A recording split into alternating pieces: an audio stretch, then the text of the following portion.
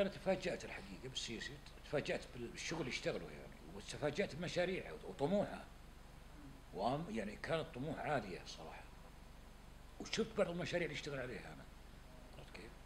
وبعدين زي ما قلت لك يعني هو من البداية حقق الأمن والأمان في مصر عرفت كيف؟ يعني قبضة حديدية أمنية في مصر غير عادية سمعت كيف؟ يعني اليوم أنا أنزل أروح الحسين الساعة 4 الصبح ما حدش يكلمني أروح باب الشعرية ما حدش يكلمني. مناطق طبعا شعبية ممكن تصير فيها مشاكل. صح ولا لا؟ أروح كل مكان في مصر يا أخي. شرم الشيخ ما في مكان في مصر ما هو آمن. فهذه الحقيقة شجعتني أنا وغيري من الناس عشان يكتب عن هذا الرجل. أعتقد اللي حققه هو في البداية كقضية أمنية قضية مهمة يستلهمها أكثر الكتاب العرب في سبيل توضيح هذه الصورة. مصر عاشت رعب يا رجل. سنة ونص أو سنة وسنتين يمكن. الواحد ما يقدر يأمن على بيته ولا على أهله ولا على أولاده حتى. ما حد يطلع من شقته. عرفت علي؟ فأقول لك يا أخي نعمة الأمن هي أهم نعمة. إذا تحقق الأمن والأمان تحقق الاقتصاد. بدون الأمن والأمان لن يكون هناك اقتصاد. سمعت كيف؟ ولن يكون هناك تنمية. اذا الأساس هو الأمن والأمان. اذا إذا ملفات كثيرة موجودة ما يقدر السيسي يحلها. السيسي قلت لك أنا مو ساحر ولا عنده عصا موسى. السيسي يحتاج دعم. دعم ال- الش- الشعب في الأول ويحتاج أيضا دعم الدول العربية. عرفت؟ إحنا عملنا مشروع عربي الحين اللي هو اسمه صندوق صداقة تحيا مصر. أنا اللي عاملينه إحنا. أفراد شعب يعني سعوديين عندنا. سعوديين وعرب. عملنا الآن الصندوق هذا اللي هو صندوق أصدقاء تحيا مصر. عشان نقدمه إحنا من خلال الإعلام المصري والإعلام العربي والخليجي. عشان شعبي ومش حكومي خذ بالك. علشان الناس أي واحد يا أخي أنا مصر بالنسبة لي عزيزة يا أخي ليش ما ليش ما أقدم شيء لصندوق مصر أنا؟ سمعت كيف؟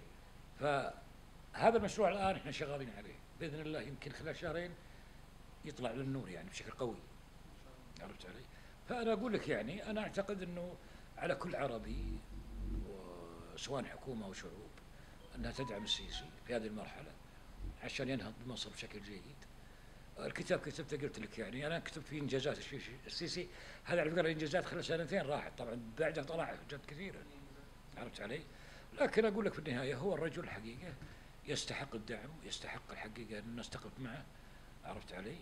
واليوم قلت لك مصر اليوم استقطبت استقطاب سياحي مو عادي يعني أنا أشوف اليوم السياحة الموجوده في القاهرة وفي شرم الشيخ وفي اماكن سياحيه وفي أسوان والأقصر يعني السياحة بدات تعود بشكل جيد.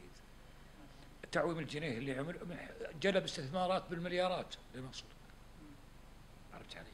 يعني الناس للأسف ما تشوف الجيد في ال- اللي قدمه القائد دائما تشوف الشيء اللي مو, مو الوحش، الشيء اللي لسه ما يقدر عليه هو.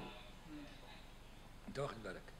حضرتك بيفتح لنا يعني أنا كنت عايز أحكي بس حضرتك بيفتح تفضل. تفضل تفضل الحديث عن صندوق آه، اصدقاء تحيا مصر يعني معلومات عن الصندوق حضرتك قلت ان هو سيصدر خلال شهر خلال شهر شهر ونص كذا. إن شاء الله بإذن الله. إيه الهدف منه؟ إيه الهدف منه دعم مصر. الهدف دعم اقتصاد مصر. إزاي؟ يعني إزاي؟ إحنا نطالب الشعوب العربية. مم، إحنا نتكلم باسم الشعوب العربية وليس بالحكومات. إحنا نطالب الشعوب العربية كل شركات العالم العربية في العالم العربي والمؤسسات الموجودة إنها تدعم اقتصاد مصر. وهذا الهدف الرئيسي. وعلى فكرة يعني إحنا ممكن نقبل ممكن وعلى فكرة هاي الطريقة هذا الموضوع طبعا له أساس يعني هو لازم يؤسس هذا الموضوع في مصر. سمعت كيف؟ من خلال من خلال وزارة الشؤون أو العمل يكون في مكيان موجود على الأرض. ويفتح حسابات لل- للصندوق من خلال الحكومة المصرية. مش من خلالنا إحنا يعني. إحنا بس نروج لهذا المشروع. نسوق له اعلاميا نطالب العالم العربي نطالب الشركات والمؤسسات والكيانات الموجودة بدعم ال- الاقتصاد المصري. عرفت علي؟ إنما هو حيسجل هنا يعني. في مصر طب إيه الجنسيات المشاركه؟ يعني إيه الجنسيات المشاركه في الصندوق لغايه دلوقتي؟ والله في؟ سعودي في سعوديين في كويتيين في إماراتيين آه هذول إعلاميين ترى ما لهم علاقة بالمساهمه يعني. هذول إعلاميين يسوقون المشروع اعلاميا لكن هدف من المشروع جذب استثمار أيوه بالضبط لمصر جذب آه قد استثمارات لمصر جمع كل ثنتين. جمع جذب استثمارات لمصر وجمع أموال. من العالم العربي لدعم الاقتصاد المصري.